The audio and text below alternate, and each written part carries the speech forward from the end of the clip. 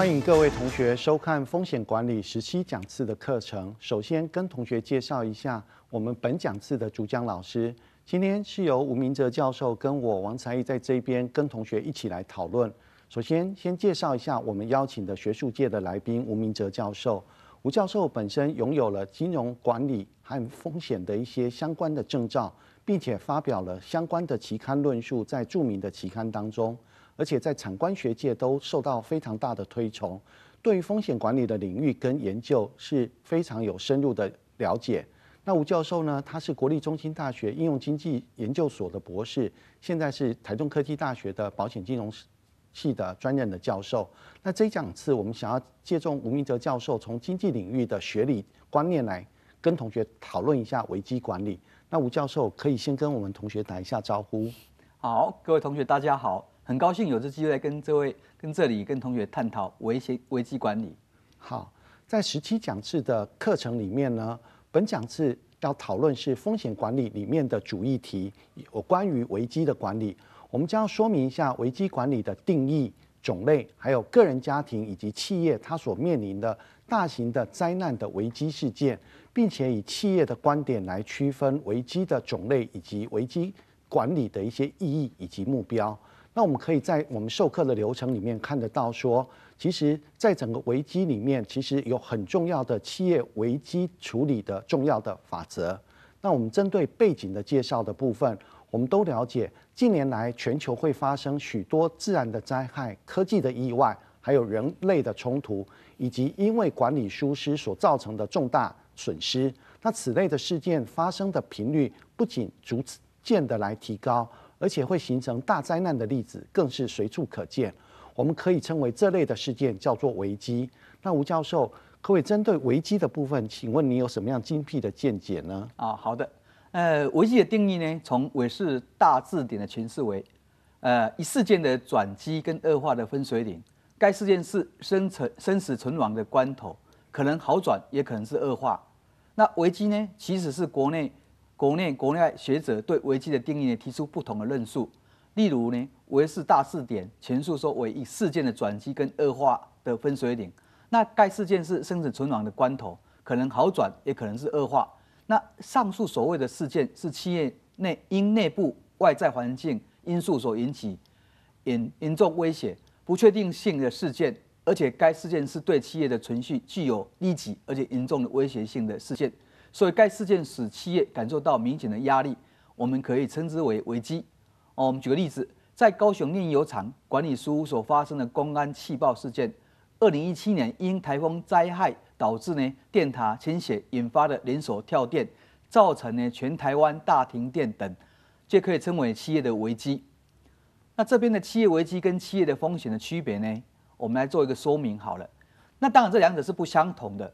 危机是一个会。引起潜在负面影响的具有不确定性的大事件，那这种事件及其后果可能对组织及员工、产品、服务、资产或声誉呢造成巨大的损害。那企业风险则有包括各种不同损失频率、损失幅度，有高度或是低度的，而且危机的特征是必须做紧急的决策。是的，那接下来呢，由我来说明一下有关于危机的种类。那危机的种类呢，其实非常多，比如像个人、家庭、企业的观点，一般我们可以区分成为下面：第一个是个人的危机，像个人会遭遇到像疾病、意外、失业或者退休、失能的危机；而家庭的危机呢，像是包括了第一个是无形的危机，他没有建立好良好的沟通模式，或者缺乏共识以及共同的目标，甚至像缺乏有效的执行计划以及执行的决心等等的。那第二个是有形的危机，那像家庭的成员的死亡、失业或者是失能、青少年离家、外遇或者年老的危机、离婚等等的危机事故。那第三个是企业的危机，企业的危机的内涵其实比较广泛，可以从内在的因素、还有外在的因素以及其他的因素三方面来加以说明企业危机的种类。那我们可以从这个图卡里面了解说，企业它有内在、外在以及其他因素，而内在的部分又可以再分成是内企业的危机是因为整个人为的因素或者非人为的因素所造成的。那内在的非人为的因素，它所造成的危机，像是工业的意外灾害，还有职业灾害、资金、财务、生产。那内在的人为因素呢，所造成的危机，它指的是企业在经营的过程当中，由于自身的管理不当而造成的危机，像是企业内部的危机，又可以再细分成为企业的公共关系危机、企业的营销危机、企业的人力资源危机，还有企业的信用以及财务的危机，像是劳资双方的冲突、内部管理的失当，使得沟通管道闭塞。经营者的心态，还有法律的责任，海外投资所造成的危机。那第二个呢，是外在的因素所造成的危机。企业外部的危机，它指的是由于国内外的经济政治环境的变化，企业所属的行业的变迁，以及像是各种自然灾害或者突发事件、风险事件，它所发生的一些企业它没有办法控制。而所造成的企业危机，我们又可以再细分成外在的非人为的因素以及外在的人为因素。那所谓的外在的非人为因素所造成的危机，像是台风、地震、环境污染危机，还有像金融风暴、石油危机、国际之间的政府、政治、经济、法律、文化、教育、科技或者营运，甚至包括一些人口特质还有人才流失的危机等等的。而呢？外在的人为因素，它所造成的危机，像是歹徒的勒索，还有群众的抗争等等的，像是在交通运输或者谣言重伤诉讼的危机，或者是商誉的危机，还有恶意收购的危机等等的这些。那第三个呢？其他的因素所造成的危机，像是领导者的伤亡、失能，或者是健康上所所没有办法弥补的伤害，这些都是属于所谓的其他的危机。那接下来呢，在企业的危机的概念以及企业的风险等级的部分，我想我们请吴教授来跟我们介绍一下。好的，那所谓企业危机的概念呢？企业危机是指企业经营的部分或全部遭受到严重的挫折或困难，致使呢企业发生财务危机或亏损，或致使企业发生财务危机或亏损稀释的一种企业的状况。那企业风险的等级。如下面读卡可以显示出，有分为高风险、中风险跟低风险企业。那高风险的企业包括所有的制造商，尤其是医药跟化学品的制造商、银行、金融机构、核能电厂及食品制造行业。那所谓中风险企业包括电信公司、零售连锁店。那低风险企业呢，包括小型零售零售商。慈善机构等。接下来呢，我们来介绍塑化剂的案件。那我们请看下面的 VCR。台湾在二零一一年五月爆发的一系列食品安全事件，起因为市面上部分食品遭检出含有塑化剂，进而被发现部分上游原料供应商在常见的合法食品添加物起云剂中使用廉价的工业用塑化剂，节省成本。国际癌症研究署及美国环境保护署列入可能的人类致癌物。这次加在饮料中的第一 HP 邻苯二甲酸二锌酯塑化剂，就是一种普遍用在塑胶材料上的塑化剂，被环保署公告为第四类毒性化学物质，食品中不得添加。为服部追查相关产品使用的原料含有 DHP，使用上游原料供应商生产的有毒起云剂厂商总计有四百三十家，受污染产品有九百多种。产品项目包括运动饮料、果汁饮料、茶饮料、果酱、果浆或果冻、胶囊定状、粉状之形态。我们以食品制造业案例加以说明。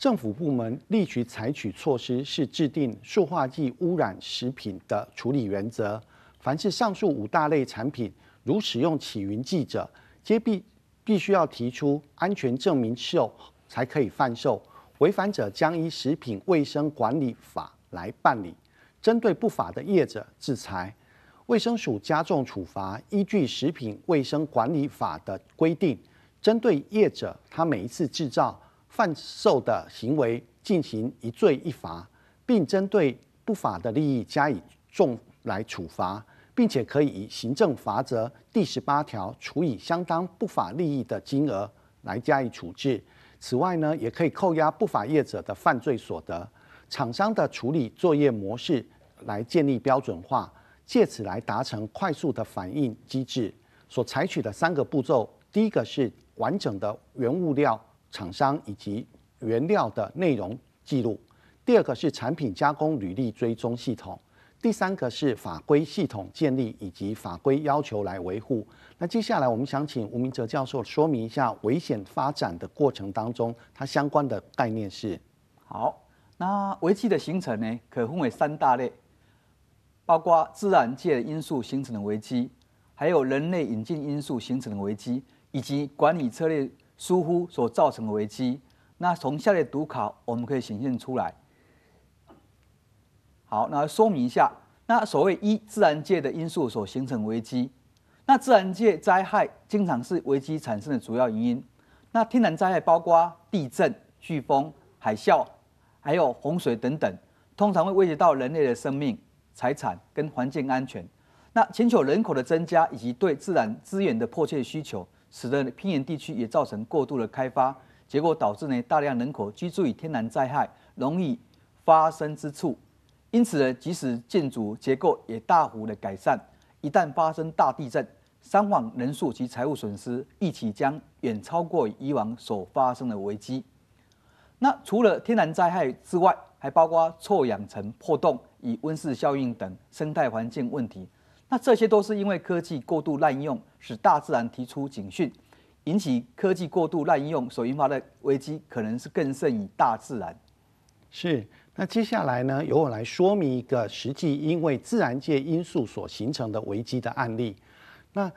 我们知道，在二零零一年七月的时候，桃之台风其实带来了丰沛的雨量，而造成了南投地区严重的土石流的灾情，因而冲垮了西头一个极负盛名的米提饭店。那后续呢，又因为涉及到保险理赔的问题，导致米提饭店它一直没有办法重新的整修营业。一直到五年了以后呢，法律诉讼的官司确定，才在二零零七年的时候重新整理开张。那一个天灾的灾难事件发生的危机事件，会导致一个饭店五年都没有办法营业之久，可见危机的事件的影响。那接下来我们请吴教授来说明第二个影响。好，二人类引进因素所形成危机，人引进过程中因科技发展应用造成的意外事件，导致许多人员的伤亡。财产损失不断增加，科技发展快速，技术也日趋复杂，也有许多无法预测的状况会持续的出现，使得不论是研究开发、生产制造或者消费者，每一个阶段都必须面对更大的风险。那此外呢，危机也可能是因为政府政策失当或个人的恶意行为所造成的。人类进步，而社会环境也日趋复杂，彼此相互影响，但是因为宗教信仰的不同。种族之间的差异，因而容易发生冲突对立。例如，激进分子或团体所常使用的暴力或恐怖行为来达到目的。这种情况引发的危机会增加企业经营的风险及不确定性。不仅企业存在着某此类的危机之下，世界局势以意识形态的冲突所导致的大规模恐怖行动中，政府也常成成为攻击的目标。美国太空梭案例就成为因高科技发展造成的意外事件，所以人类引进因素形成的危机。两千零三年，美国太空梭哥伦比亚号在重返大气层时，空中解体，七名太空人全部罹难。根据资料显示，太空梭当时大约在六万公尺的高空，以时速两万公里的高速飞行。起先。哥伦比亚号太空梭出现在美国德州上空时，还一切正常。不过，太空梭后方的阴雾不久后变得厚重，显示出现问题了。之后，哥伦比亚号太空梭开始解体，碎片就散落在德州的广大范围。接下来看三，管理策略疏忽所造成的危机，自然及人为的因素引起的各种冲突与对立，对企业的管理决策者造成的压力。因此，发生管理疏的几率也相对增加。那主要原因是因为管理决策的价值观跟处理程序跟不上环境改变跟社会期望的脚步。管理决策者也可能因为不断的推出称新的市场需求及追求经营获利压力，而做成适当的决策。例如，二零一六年韩国三星手机 Note 七自燃事件。三星即对外宣布是电池导致的自燃现象，因此收回全球卖出的两百五十万台的手机，更换电池以保护消费者。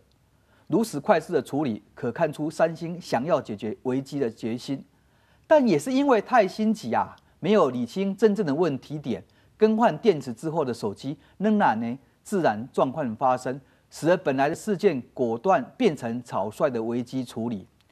所以三星至少损失了一百七十亿美元。是。那危机发展的过程当中呢，其实我们要了解，在全球化的潮流趋势之下，其实跨国性的企业或者称为多国籍的企业，它会充分的利用国际的资源，像是资金、原料、技术、市场、资讯或者人才等等的流向，那以及运用全球不同的资源配置来降低成本，提高我们的竞争力。同样的，当跨国企业它出现经营危机的时候，此时所面临的问题就不是单一的危机，而是一个跨国性的危机。而危机从爆发一直到结束，一般而言有固定的轨迹可循。学者认为，危机的过程好像可以比拟成为人的生命周期，期间会经历不同的阶段。我们来说明一下危机的发展过程，像是第一个是所谓的潜伏期。那潜伏期的征兆通常不是很明显，不易察觉。但是有时仍然会出现一些警告的讯息，若是能够适时的来掌握以及及早的处置，就能够化解化解危机。而第二个是爆发期，在这个时期里面，危机的发生，它开始的时候会造成伤害的时候呢？此时，如果有良好的前置防范的措施，将可以把危机的影响控制在企业可以掌握的范围之内。可是，如果不做好好的处理，小危机也会扩张成为大危机，而造成企业的倒闭。那第三个是善后期，有就也就是所谓的后遗症期。那危机的发生之后呢，有时会对企业产生连带的影响，例如像是人事的改组或者财务状况不稳定等等的现象。有时危机会引发出更大的变化，而且会引起了更大的危机，所以我们称之为后遗期。那第四个是解决期。那危机如果到这个阶段已经进入了生命周期的衰退期了，此时呢，企业应该自我分析、检讨以及疗伤跟止痛，从而使得整个企业能够恢复到正常的状况之下。所以我们要了解说，其实，在潜伏期里面。它的征兆一般都不是很明显、不易察觉的，而且同时也会有一些危险的讯息出现。可是呢，在爆发期里面，这个时候是危机的发生，而开始的时候其实会有伤害的发生。那如果我们做好了一些前置防范的措施，其实就可以好好的掌控这些危机，也可以使得小的危机不会因此而扩大。那第三个在善后期的部分呢，也就是我们在危机发生以后，有时候其实企业。本身连带的一些影响，像是刚刚提到的人事或者财务状况的不稳定，那其实这个部分都会因为有危机而产生后遗的现象。那第四个是解决期，那危机已经发生了到这个阶段呢，企业本身就要开始做分析、检讨以及去做一些疗伤，从而使得企业能够恢复到原来正常的状况。那我想接下来。请吴教授来说明一下有关于危机管理的一些意义以及它的目标。好的，那危机管理的意义呢？企业因内在、外在环境因素引起对企业的生存具有立即而且严重威胁性的事件，在一起范围之内，风险程度不大的危险称之为风险，而失去控制的风险则称为危机。因此，危机管理是有别于风险管理。那危机管理的意义是，企业遭遇严重威胁企业存续的风险时，为了使损害能减至最小，或避免或减缓，利用有限资源，透过危机的辨认、分析及衡量，而使危机化为转接一种有系统方式处理的管理过程。因此，危机管理是企业为了避免或减轻危机所造成的严重威胁。以危机发生前呢、发生时、发生后，利用科学方法加以规划、预防、回应、控制、处置以及评估，以计划性的管理方式，达到主动有效预防危机、化解危机的管理方法。那危机管理首先重视呢事前的管理，因为企业必须明了哪些事故会导致企业产生危机，规划出预防危机发生的策略。如果无法避免，则减少。降低危机发生产生的冲击。接下来危机发生时要有万全准备，表示危机管理措施宁可备而不用，绝不可用而不备。万全准备的效用，在将危机所可能造成的损害，透过完整的准备作业，让危机发生时能在第一时间避免灾情扩大。是，所以吴教授的意思是说，在准备作业其实是非常重要的。可是，在最后实施危机管理的计划当中，其实就是把上述的这些准备计划做完整的来实施出来，并且实际的运作的方式，而且透过教育训练来共同学习，把的整个经验能够加以传承。那我想请吴教授再帮我们说明一下危机管理的目标是什么，好吗？好，那危机管理的目标，呃，就跟前面章节全成那个叙述的风险与管理目标并不相同。那风险管理目标可分为损失前跟损失后的目标。那危机管理的目标则希望企业得以维持及确保企业永续经营、求生存，因此着重在预防及填补因危机带来的威胁跟损害。为了因应危机有不同的层次，针对潜在或当前的危机，预先有组织、有计划、有步骤的采取最有效、最可行、最实际的对策跟行动。透过必要的危机处理、危机控制，动员最少的资源，使用最短的时间，影响最少的范围，降低损害至最低的损害程度，以达到危机解除、危危机管理的目标。是。那接下来吴教授将为我们来介绍一下有关于危机发生之后的结果。好的，那危机发生后产生的结果呢？我们可以看一下，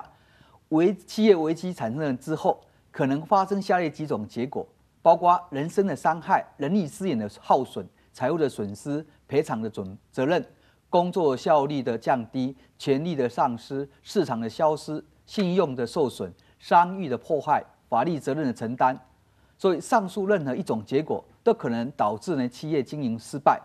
因此呢，目前研究呢企业危机的处理的目标，就是避免企业面临以上结果的发生。所以，企业经营者若能在第一时间认识危机，处理得宜，可能是企业更上一层楼的前奏；反之，处理不当，就可能形成呢致命的伤害。所以，危机管理是指企业组织或个人透过危机处理，达到避免、减少危机产生的危害，甚至呢将危机转换为机会的目的。所以，危机管理的两大要素，包括危机的预防跟危机的处理，如下卡所示。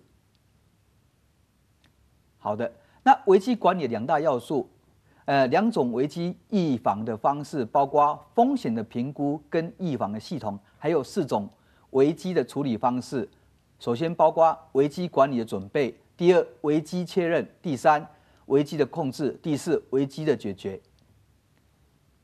好，那我们开始介绍第一个要素哈，危机的预防。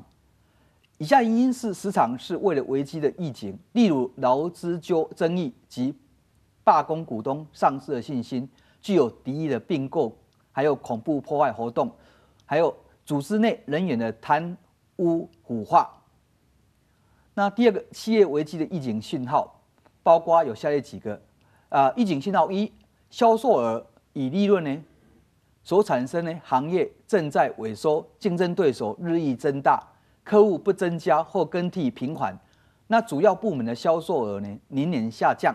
那主打产品呢不受市场欢迎，人均销售额呢降低，销售人员素质差，还有库藏的产品日益增多，客户的索赔增加。那预警的信号二，包括财务指标连续的亏损达到五年以上，设备投资过多，自有资本不足。那预警信号三呢有。人力资源费负担过重，还有人力资源呢，呃，使得企业呢无足够的资金用以营运。那预警信号四人员的危机，那经理人呢经常不在，任何人不知道去向，所以经理人热心表面事务而疏忽本质。另外，员工流动频繁，员工没有工作热情，萎靡不振，员工的平均年龄偏大。另外，原来有现金或支票支付货款，改为要求呢延长货款结算的期限，所以客户呢纷争离去，危机事件呢不断，包括次级品退货、交通事故等，所以客户停止呢供货，行业内的口碑不佳，有将倒闭的传言。那预警信号五呢，包括世代交替的企业。一般而言，企业在三十年以上的公司容易发生危机，这与经营者的世代交替有绝大的一个关系。好，那接下来呢，我们要介绍一下有关于第二个要素。那第二个要素也也就是危机的处理。那这个部分呢，我们想要说明的是，像第一个危机管理的准备，其实要有意识到危机其实不是不可以避免的。那每一个企业呢，都必须要做好整个危机的准备。那第二个呢是危机的确认，危机确认其实包括两个含义，第一层的意思是正确的把危机来做归类，第二层的意义是收集跟危机相关的一些资讯，从而确认危机的程度。那第三个是危机的控制，我们要让专职的职员从事危机的一个控制工作，像在公司里面的风险管理部门的人，而且应当指定专人来作为公司的发言人，所有面向。公众的一些发言都要由发言人来做说明，以便统一整个公司上下的口径。而且呢，公司的发言人在媒体发言的时候，更需要注意几项原则，例如像消费者能够决定企业的生命，因此一次的不诚实的语言，可能很难就会赢到第二次的信任。那一次没有回回答到问题的核心，很容易激怒到消费者的耐性。那语言不要挑战整个消费者，表达负责任。或者一些诚意其实是最优先的，会以事实跟客观的数据来回应，而且回应要快，这时候顾客的本身的反弹就会越小。那第四个呢是危机的解决，企业主管要因应整个适当的危机处理的策略，而把整个危机化为转机。因此呢，整个企业它难得有机会一次集体的接近这么多的顾客，那这时候的表现是顾客最近的距离的观察。你的经营的态度，那发生的问题的时候呢，整个社会会观察企业的品牌的价值感，所以企业本身在经营跟社会的参与，在整个危机的事件里面就可以了解，越是让事件能够更透明化，其实是越好，才能够把整个复杂变成是单纯，而且这个时候就可以把危机来做转机。那接下来我们请吴明哲介绍老师来介绍一下有关于危机管理的整个过程，还有相关的概念。嗯，好的。那危机具有阶段性哈，危机依据其所处理的问题特性呢，将管理工作划分为四个阶段。那从读好，我们了解一下这四种阶段的内容。那首先呢，第一个阶段是呃舒缓阶段，是指确定危机之所在，便采取行际实际的行动，借以减少或减轻人为或天然灾后所造成的危机状态。那第二个阶段为准备阶段。视为发展有效回应紧急事件之执行能力，借有事件的预警系统，经有指挥中心的沟通协调，以及呢不断模拟演练去对抗并解决问题。那第三个阶段为回应阶段，是说当危机爆发后，切实执行危机管理计划，以解决呢生命保护、财产设施，减少二度伤害，让应变工作能进行顺利。那第四个阶段为复原阶段，视为重建一切伤亡或损失，使其恢复旧观，便借由检讨过程找出改善的因素，不仅能避免危机的再度发生，而且呢，更要提升而后运作的效能。所以，由以上可得知，危机具有阶段性，而且当危机爆发，而且危机对企业形象造成负面影响时，就有企业形象修复的需求，尤其是跨国企业啊。如果危机处理不当，在媒体及网络资讯传播迅速的时代，会导致成为跨国的危机。因此，企业形象修复策略是非常重要的。今天谢谢吴教授的说明，那我们今天的讲次就到此结束，谢谢同学的收看。